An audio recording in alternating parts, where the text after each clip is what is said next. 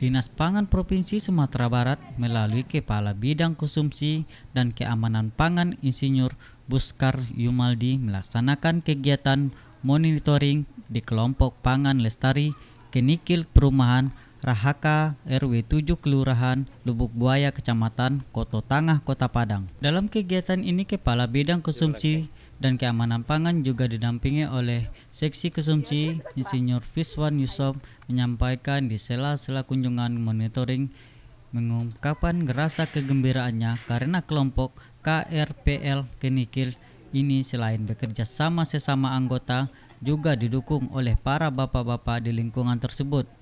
Ini membuktikan semakin banyaknya tanaman konsumsi yang ditanam oleh warga ataupun masyarakat akan membawa banyak dampak kepada masyarakat. Manfaat tanaman yang berkhasiat bagi kesehatan masyarakat dan untuk mencukupi kebutuhan kelompok serta menambah perekonomian bagi masyarakat di daerah tersebut. Selain mendapat kunjungan dari Dinas Pangan Provinsi Sumatera Barat, KLPL Kenikil juga melakukan panen perdana sayur samhyong, sawi Jepang, pokcai, sawi sendok, dan juga pitulo balui yang panjang mencapai 2 meter. Dengan adanya panen dan juga keberhasilan masyarakat dalam melakukan mengelola lahan dan tanaman meskipun dengan menggunakan lahan seadanya dapat menjadikan masyarakat jauh produktif dan bisa meningkatkan perekonomian tentunya.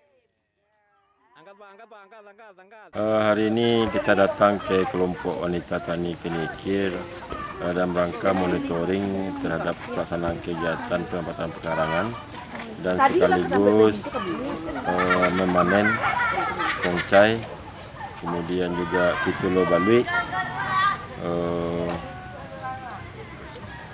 samhong. Uh, Alhamdulillah kami lihat uh, perkembangan tanaman cukup bagus. Eh, mudah-mudahan ini bisa lebih dikembangkan lagi oleh kelompok wanita tani kenikir eh, sehingga bisa dimanfaatkan terutama untuk konsumsi keluarga dan kalau sudah terpenuhi untuk semua konsumsi keluarga eh, bisa menjadi penambahan pendapatan bagi